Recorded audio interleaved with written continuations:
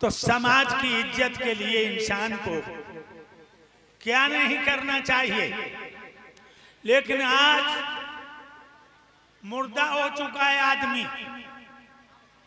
आप लोग सोच रहे होंगे, स्वामी जी, मुर्दा? हाँ।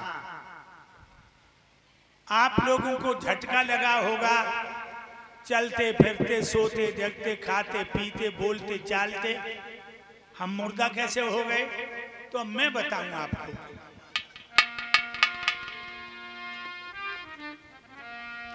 ए ज़िंदा और मुर्दे की भाइयों, तुम्हें नहीं पहचान रे। आज तुम्हें हम बतलाते हैं, सुनो लगा ध्यान रे। और आज तुम्हें बतलाते हैं तुम सुनो लगा कर ध्यान रे। आज तुम्हें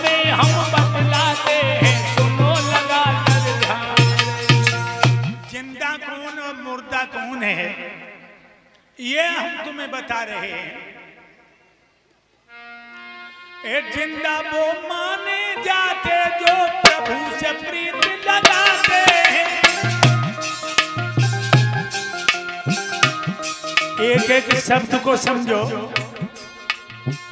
ज़िंदा वो माने जाते जो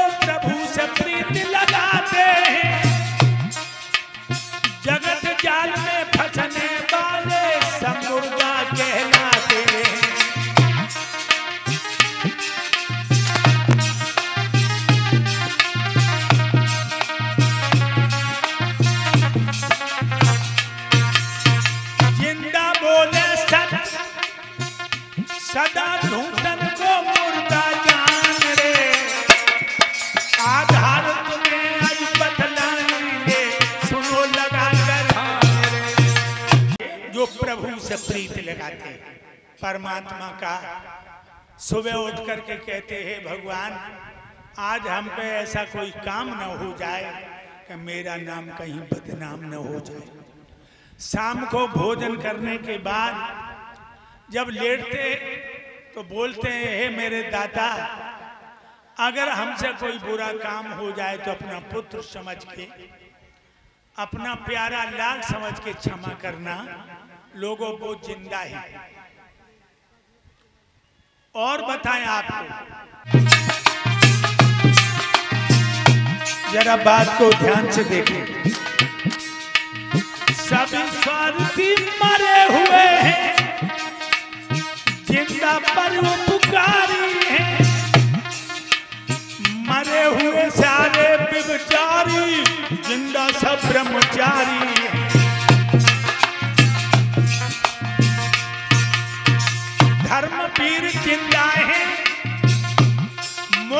मुर्दा सब पापी से दान रे। आधार तुम्हें अब बतलाते हैं। सुनो लगा कर ध्यान रे। और देव तुम्हें बतलाते हैं। तुम सुनो लगा के ध्यान रे। पूरा देव तुम्हें समझाते हैं। तुम सुनो लगा के ध्यान रे। कितनी सुंदर बात आई। सभी स्वार्थी मरे हुए हैं। ज़िंदा पर उपकारी है। और मरे हुए सारे विभचारी ज़िंदा सब ब्रह्मचारी हैं। तो लोगों, जो अपना उल्लू सीधा करने की हमेशा बात करते हैं, दूसरों का काम बिगड़ जाए तो चिंता नहीं। ऐसे स्वार्थी मुर्दा है। और अपना काम चाहे भले ही बिगड़ जाए पड़ोसी के काम को बनाने में लगे हैं, वो ज़िंदा है। तो पांडाल में इतने लोग बैठे हो, हाथ उठाओ। कितने लोग यहाँ ऐसे बैठे हैं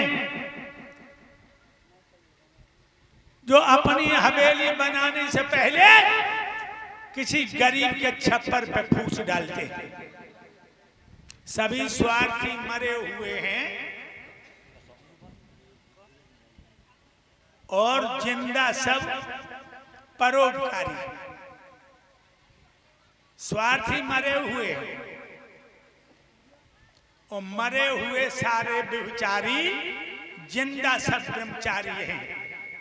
अपनी औरत, काली कलूटी कुरूप, समझदार या मूर्ख कैसी भी है जो अपनी पत्नी में ही संतोष करता है।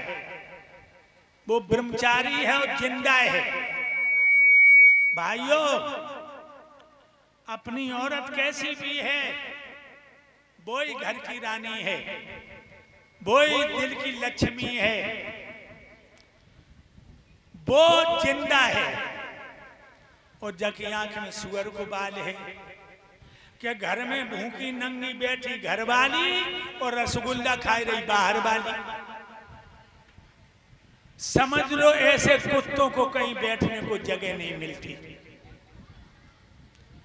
जो अपनी औरत नंगी भूखी बैठी है और दूसरी औरतों को जो बेश्या नज़र आती हैं, उन्हें धन लुटाता है, न तो उसको यहाँ चैन मिलेगा और न परमात्मा की यहाँ।